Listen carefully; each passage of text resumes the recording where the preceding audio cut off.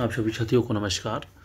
साथियों, आज हम इस मुद्दे पे बात करेंगे, जैसा कि जो मुद्दा हम पहले भी बताते रहे हैं कि लोग तमाम तरह के जो यूट्यूब चैनल वाले हैं तरह तरह के फर्जी फर्जी जो समाचार चला करके या फर्जी में वीडियो बना करके व्यू पाने चाहते हैं और जो है सस्ती लोकप्रियता जो पाने के चक्कर में अपने आप को बदनाम कर लेते हैं।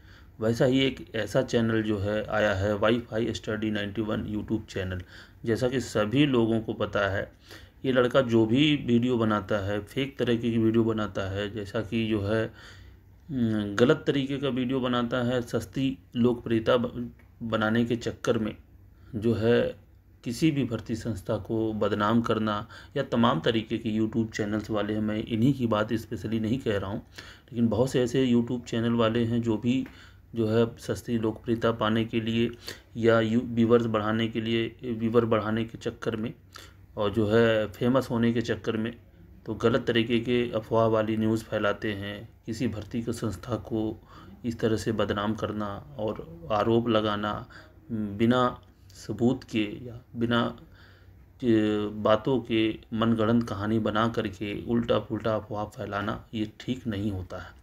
तो इससे जो है, जो तैयारी करने वाले जो छात्र हैं, वो मानसिक रूप से तो परेशान होते ही होते हैं। और प्लस जो है, भर्ती संस्था पर से जो पढ़ने वाले जो छात्र हैं, उनका जो है विश्वास उससे टूटता है। तो कदापि किसी भी यूट्यूब चैनल को इस तरह की जो है अफवाह नहीं फैलाना चाहिए, इससे बचना चाहिए। जैसा कि वाईफाई स्टडी 91 यूट्यूब चैनल वाले ने जो किया इस तरह का गलत तरीके का वीडियो बना करके और अफवाह फैलाया। तो जैसा कि माध्यमिक शिक्षा सेवा चयन बोर्ड ने एक जो है वाईफाई स्टडी नाइन्टी वन का जो फर्जी वाडी ऑडियो जो है, वायरल किया गया, उल्टा सीधा जो है वीडियो बना करके डाला गया। तो जो है नोटिस जारी किया आज की डेट में, उन्नीस तारीख की डेट में। तो जो है एफआईआर भी जो है दर्ज की गई है उनके ऊपर। जो है कार्रवाई की जाएगी। तो जैसा कि उनको इस चीज़ को समझना चाहिए कि गलत तरीके का वीडियो और मन गढ़ंत तरीके का वीडियो बना करके दुष्प्रचार करते हैं और किसी भर्ती संस्था को बदनाम करना, ये ठीक नहीं। बहुत से ऐसे यूट्यूब चैनल वाले हैं जिनको मैंने देखा कि जो है गलत तरीके का वीडियो बना करके डालते हैं और जिससे जो है पढ़ने वाले जो छात्र हैं वो मानसिक रूप से प्रताड़ित होते हैं, परेशान होते हैं।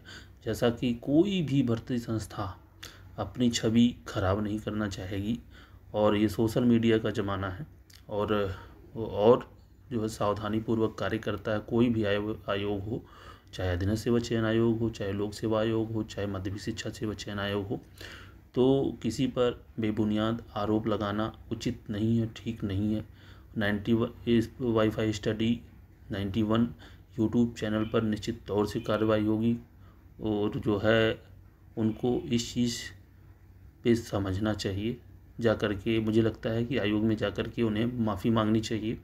और इस तरह का जो है भ्रामक जो है खबर चला कर के उन्होंने आयोग की साख और गरिमा को खंडित करने का प्रयास किया तो ऐसे लोगों को जो है इस तरह की चीज़ों से बचना चाहिए।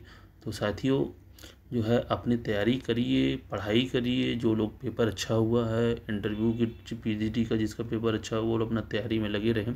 और किसी भी यूट्यूब चैनल पे तरह तरह की इस तरह की जो अफवाह वाली जो फैले, खबरें फैलाई जाती हैं, इस पर विचार, ध्यान न दीजिए। और एक कार्रवाई होने जा रही है और मुझे लगता है कि सभी यूट्यूबर्स चैनल को इस पे, इससे जो है सबक लेना चाहिए। और चाहे सोशल मीडिया हो, चाहे फेसबुक हो, चाहे व्हाट्सअप हो उस पटांग जो है मैसेज करना, करने से लोगों को बचना चाहिए। तो प्रयास यही करिए कि अपनी तैयारी करिए। इधर उधर उठपटांग मैसेज पे या खबरों पे या किसी भर्ती संस्था को बदनाम करने से कुछ नहीं मिलने वाला जिसका पेपर अच्छा नहीं हुआ, वो आगे की भर्ती की तैयारी करें। तमाम भर्तियाँ हैं, आने वाली हैं तो तैयारी करते रहिए। तमाम वैकेंसी आपको भविष्य में देखने को मिलेंगी। जैसा कि जो है पीएनपी जो है परीक्षा कराने वाला है, इक्कीस दिसंबर को भी यूपी जो है पेट की भी परीक्षा आयोजित होनी है।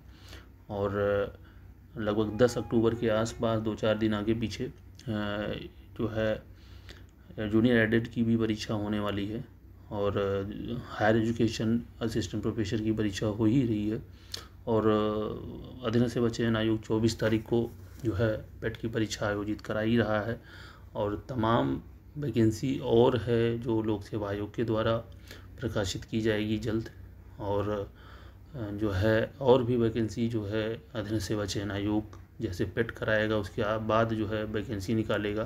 तो जो लोग तैयारी कर रहे हैं इधर उधर के चक्कर में पढ़ने से, अफवाह में पढ़ने से बचें, इससे मानसिक हानि ही होती है, कोई फ़ायदा नहीं मिलने वाला। तो साथियों, यदि वीडियो अच्छा लगा हो तो लोगों को ज़रूर बताइए कि जो है अफवाह से बचें, अपना भविष्य बनाने में लगे। इन सभी चीज़ों पर ध्यान बिल्कुल ना दें। धन्यवाद साथियों।